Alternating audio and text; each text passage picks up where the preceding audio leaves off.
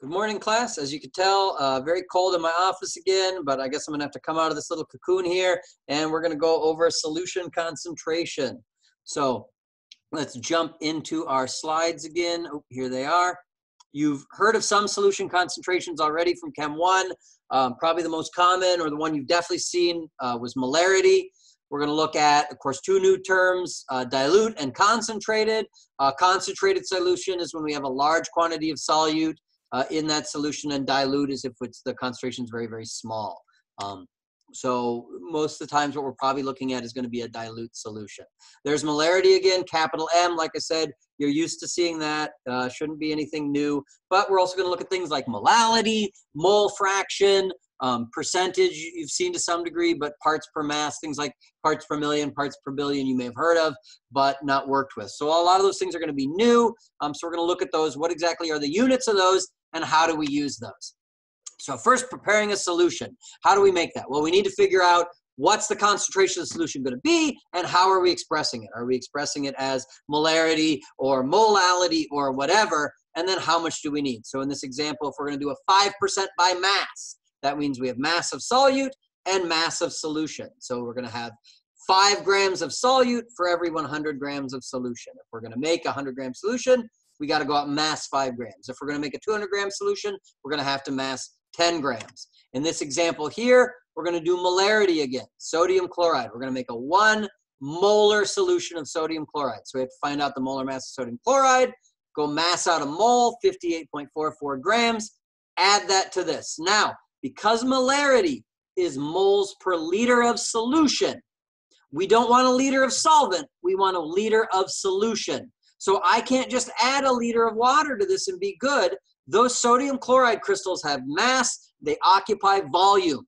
If I add a liter of water to this, what I find is going to happen is after that dissolves, I'm going to have more than a liter of solution. So I need to get this completely dissolved. I might only add this much water, make sure the sodium chloride is completely dissolved, and then bring it up to this mark so we have exactly a liter of solution. And that's how I'd make a one molar solution of sodium chloride. And it might vary a little uh, if it's molal or something different, but we're going to look at those units and how that works. So again, there's molarity. You've seen it before. What I like to do so I don't get lost or I don't confuse myself, um, as soon as I see molarity, let's say we're told we have a 2.25 molar solution of sodium chloride. That capital M means molarity. They're always the same units. So what I'm going to do is rewrite that instead of capital M, I'm going to rewrite it as 2.25 moles of sodium chloride per liter of solution. So I can see my units immediately. I know what I'm working with. And if we're getting to, say, uh, moles of this, we could just multiply by whatever the volume they gave us was and cancel out that volume term or whatever it happens to be. But I can see the units. I know what I need to cancel. Um, I know how to do that, how to get there. Uh, I'm not going to confuse myself or throw myself off. Next. Molality, a little bit different. Sounds very similar. Uh, probably, again, to, to screw with you, uh, mess you up. But molality, different than molarity lowercase m instead of an uppercase. And now what we're looking at is moles of solute over kilograms of solvent. So not the solution now, but just the solvent, and not the volume, but the mass, typically or specifically in kilograms. So if we were looking at the exact same uh, solution now of, of sodium chloride, or we expressed it differently. So instead of getting moles per liter. When we made it, we made it a little different way. We have now a 2.25 molal solution of sodium chloride, lowercase m instead of uppercase. And what this means is we would have 2.25 moles of sodium chloride, but now in a kilogram of, let's say this is aqueous. So whatever our solvent is, since it's aqueous, it'd be water. So expressing it differently than here, different units that we would need to cancel or convert to.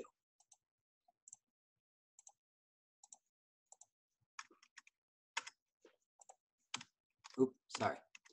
Conceptual connection. If you combine 25 grams of a solute that has a mass of 25 grams per mole with 100 grams of solvent, what is the molality? So let's go in again, thinking about those units. We were told we had 25 grams of a substance. The molar mass of that substance is 25 grams per mole. We were told we have 100 grams of our solvent. We want to know what's the concentration in molality. So we're going to have to get moles over kilograms of solvent. Well, if our mass is 25 and our molar mass is 25, 25 divided by 25 should be one mole of whatever that solute happens to be. And we want to put that over a kilogram of solvent. Well, we have 100 grams. 1,000 grams in a kilogram, divide 100 by 1,000, should be 0.1 kilograms of solvent. And when we take 1 divided by 0.1, you can see that in this case, we have a 10 molal solution of whatever that solute happened to be. So not too difficult, but different units than what you're used to working with probably. Uh, so let's go back into our slides and we'll see, did they get the same thing? Yes, so they did it right or we did it right or we're uh, both wrong in the same way for some reason. But no, this is the correct answer, and and what reason it is is from how we worked it out there. Um, parts per. So this is something that you've probably heard before, and maybe you know how it works, maybe you don't. Uh, it's something that the EPA uses a lot. Environmental chemists will use this quite a bit. Uh, parts per million, parts per billion, something like that. You could measure this as mass. So uh, usually the easiest way to do this is to keep them in the same unit. So if it's parts per million, it's going to be um, the mass of that uh, component we're interested in, the solute, over the mass of the whole thing. And how many units of this do we have per million units of that? Percentage is really just parts per hundred. Um, parts per million, like I said, it's parts of that solute for every million parts of the solution It's probably just a little confusing now. Don't worry, we're going to do a few worked problems and it'll start to make a little bit more sense. Uh, so here's parts per million, massive solute, massive solution. Ideally, these units agree. Uh, if for some reason we had to do mass and volume, we'd need density so we could convert that volume into mass. So we're going to take whatever mass our solute is over the mass of the solution and then multiply by a million to get that into parts per million. But this usually is going to be noticeably less solute than there is solution. Parts per billion, same thing. Uh, small amounts. Uh, how much? How many parts of that solute do we have per billion parts of that solution? And we can do mass and mass or volume and volume, but ideally those units on top and bottom agree. And then uh, once we have those mass of that solute divided by the mass of solution, multiply now by a billion, to convert that into parts per billion. And again, this will make a little bit more sense, hopefully, when we do a couple worked uh, examples here. Mole fraction.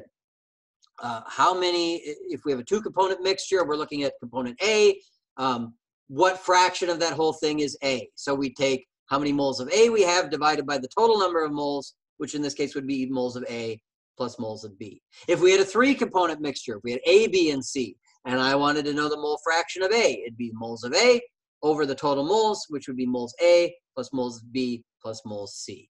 Um, mole fraction should always add up to one. So you, we could have 0.1% of it being A, or, or, or I should say, sorry, 10% of it being A, 20% being B, and then 70% being C. All those mole fractions should always add up to one. Uh, and we could convert that to a mole percentage if we wanted. So if we found the mole fraction of A was 0.1, multiplied by 100, that's 10% of that.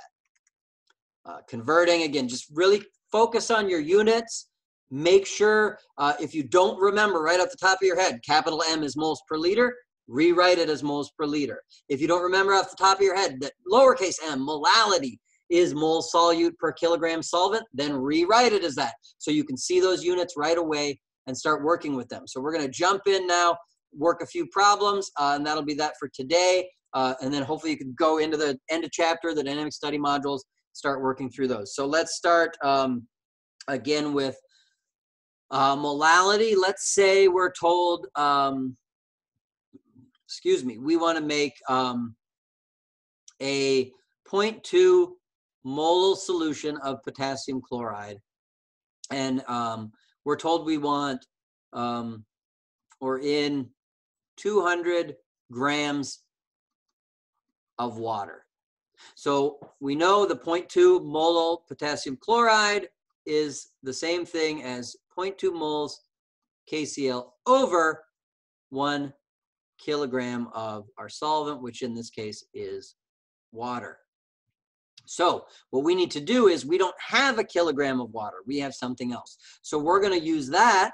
We're going to cancel out our mass units and we're going to find out how many moles of potassium chloride we need. And then once we know moles, so what they're going to ask us for is what mass of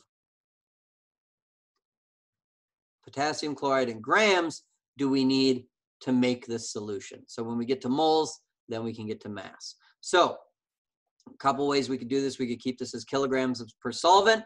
We could multiply how much we're actually going to multiply that or convert how much we actually have here to kilograms and then multiply through. So if we have 200 grams of water, divide by a 1,000, that's the same as 0.2 kilograms of our solvent, of our water. Multiply through, and we can see should be 0.04, 0.2 times 0.2. Yes. So what we're going to need is 0.04 moles of potassium chloride. If we mass that out and dissolve it in 200 grams of water, we'll have a 0.2 molal solution. So now the last step is to go from moles of potassium chloride to the mass of potassium chloride. And here we're going to need to use the molar mass. Molar mass, look that up, uh, should be 39.1 plus 35.45 gives us 74.55 grams in one mole and multiply by 0.04 and we get 2.982 grams of potassium chloride. So this is how much potassium chloride we would need to mass out and dissolve in 200 grams of water to make that 0.2 molal solution. Let's try some parts per million. Let's say we're told we have 98 micrograms of lead in 15 grams of soil. We want to know what's the concentration of that lead in parts per million. So first thing we're going to do is divide solute by solvent or the solution, sorry, the total solution is the soil and we want the units to agree. So I want my top to be grams and my bottom to be grams. If this is 98 micrograms, that's the exact same thing as 98 times 10 to the negative 6 grams of lead, micro to grams. And we have 15 grams of soil, that goes on the bottom. Solute divided by solution, units agree. What do we get? Something very small, 6.53 times 10 to the negative 6. And then the last step is multiply by 10 to the 6 or multiply by a million to find out what that is in parts per million. And in this case, it would be 6.53 parts per million or ppm. Let's go to the next one. Uh, let's say now we want to make a 20 part per million solution of sodium chloride.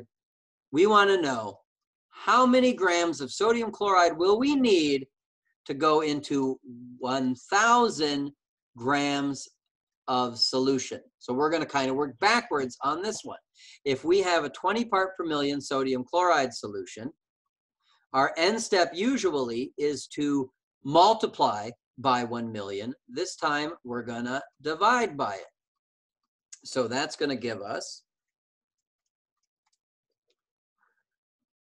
0.00002 um, grams of sodium chloride per every one gram of solution.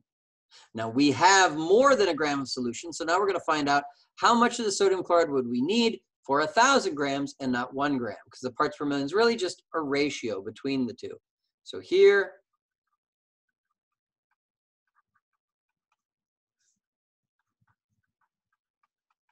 times, oops, times 1,000 grams of solution.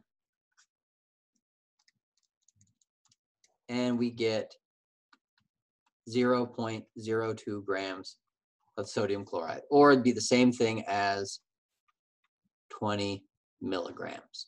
So if we wanted to make a 20 part per million solution of sodium chloride, we could come back, we could check our work. We could say, if we take 0.02 grams of the sodium chloride, we put it in a thousand grams of the solution like we had, and we multiply by a million, do we get that 20 parts per million like we had? Yes, yes we do. So that is how much we would need of the sodium chloride to make a 20 part per million solution with a thousand grams of that. Uh, last one, let's try a mole fraction. Let's say, uh, again, we have that potassium chloride. So let's say um, we're told that we have uh, 30 grams of potassium chloride in 200 grams of water. I want to know what's the mole fraction for the potassium chloride.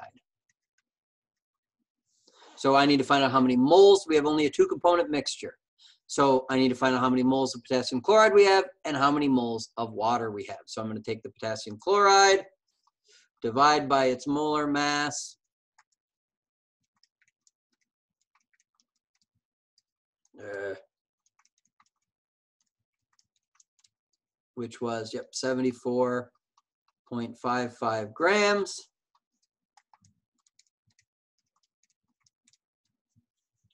And that's 0.402 moles. Do the same thing with the water.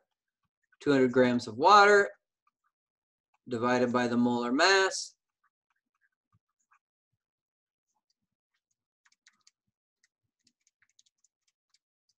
And that is 11.10 moles of water. We want to know the mole fraction for potassium chloride. So that's going to be the moles of potassium chloride over the total moles. In this case, since there's only two things, it'd be the moles of one plus the moles of the other. So we're going to have 0.402 divided by 0.402 plus 11.1.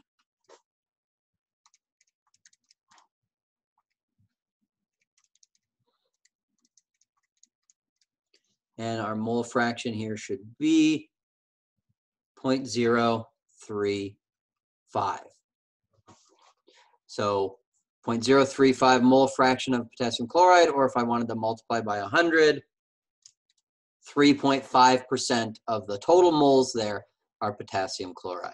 Uh, really no different than if you wanted to find out, you know, how many, how many people had blue shirts in your class you'd have to take how many people had blue shirts divided by the total number of people in the class. So if you had uh, 10 people wearing blue shirts and 300 people not wearing blue shirts, the total number of people in the class is 310. So 10 divided by 310 would give you the fraction of people wearing blue shirts in your classroom. So that's how mole fraction works. If we had a third component, we'd have to add that in there. So again, hopefully this was helpful. Um, hopefully you've kind of figured out a few things at least here and um, work those problems. Come to office hours. We'll work through some more. Um, as you do them more and more, you'll get used to that. You'll remember what units you have to cancel. Um, hopefully, this was good. I'll see you soon.